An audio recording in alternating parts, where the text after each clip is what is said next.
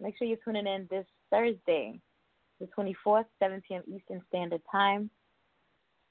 Uh, we'll be live with Cleveland, Ohio's.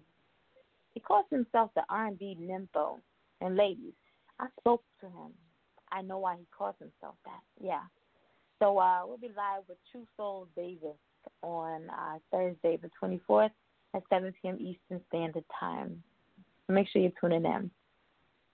And as always, let me leave you with this quote A higher revelation than all wisdoms and philosophy. That's Beethoven. Yes. Until Thursday, have a good night.